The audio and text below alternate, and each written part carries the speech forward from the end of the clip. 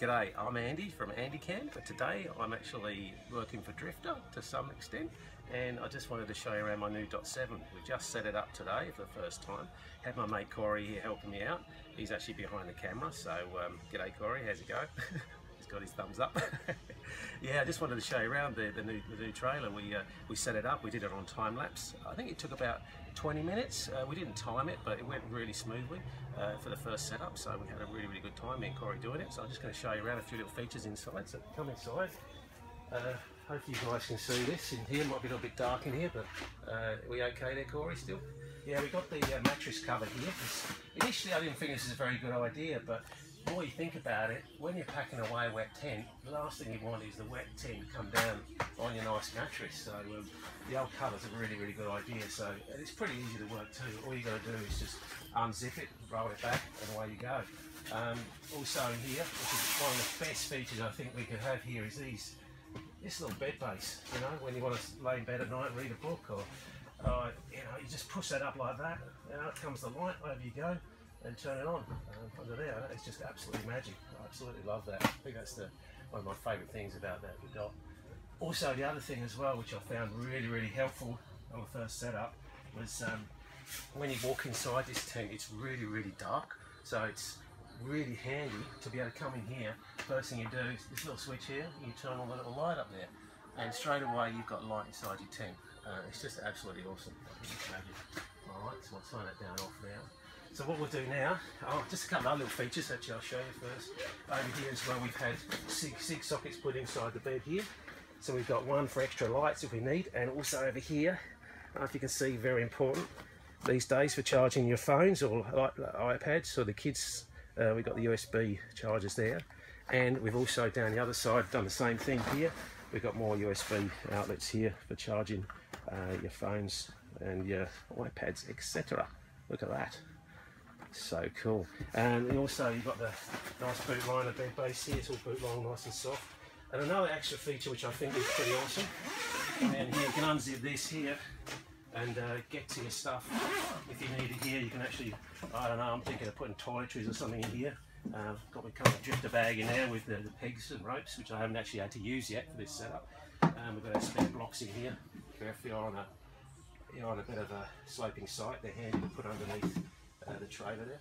But that's really awesome. And of course you get your jerry can. They can even put stuff in here if you want, you know, and use that as a shelf or something if you want. Um, and then just zip it back up at night, you know, when you go to bed. Keep all those creepy crawlies out, because you know what the wife's like. Yeah, we actually got these little pockets down here too, which is pretty cool from there's an area, so if you get really hot at night, you can undo those. Let's the old uh, draft, yeah, come through there. That's uh, yeah, another good little feature. Uh, and one last thing I just show you inside here, which I like too, we've got the pockets in the tent. So if you do have, uh, you want to charge your laptop, sorry I keep saying laptop, I mean your iPad, you put your iPad in there, put it on charge there, or your phones or whatever. And the same on this side, we've got pockets too, which I think is very handy, so you don't have to leave anything on the floor. So, so yeah, pretty cool, hey? Okay, here we are again around this uh, back of the trailer now. We're just going to set up the kitchen. Uh, I had a Drifta kitchen in my last trailer. I had the timber kitchen. I absolutely love the timber kitchen, but uh, I decided to go with a stainless uh, kitchen for this one. So I think it just matches this trailer nicely. And as you open this, great feature of this as the gate opens, it's on this lovely pulley system here which just pushes it out and keeps it in place. And you don't have to worry when it's windy, you don't have to worry about this flapping around bashing your tent, it just keeps it nice and solid in place. Okay, so here we've got the tucker box. Comes out there, we'll just chuck that down there for now. A little bit dusty, but we can clean it up in a minute. Um, and here we got our kitchen, which we can just slide out. Have a look in the box, beautiful. Plenty of room in there for storing your fresh fruit and vegetables. That's what I use that for, the fresh fruit and vegetables.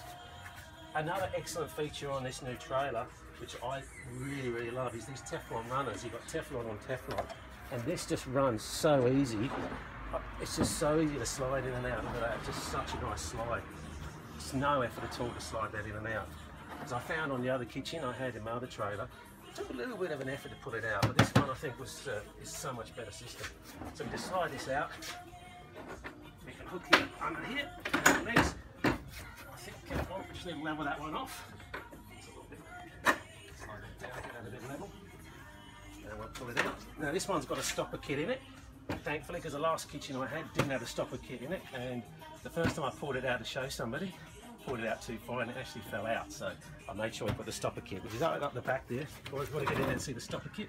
See that? Look, put it out and it doesn't come any further, which is really handy. If you had one or two too many beers and you put in your kitchen out, very good idea to have that installed, right? Just ask the boys at Drifta, they'll put one in. In fact, I think it comes standard there anyway. Okay, so pull that out, and then we just unhook this bit here. So. And we'll just undo this bit here. Flip that off. Just put that up there for a sec. And comes out like so. Just clips in here.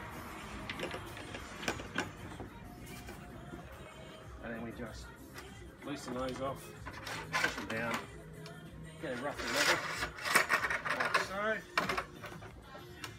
and tighten them up. Really good to be able to adjust these to whatever you want. And uh, you know, let's get it roughly level like so. And we get this fit back, off she goes. Make sure we get it the right way around. And they just fit in, there's two nice little holes that they fit into.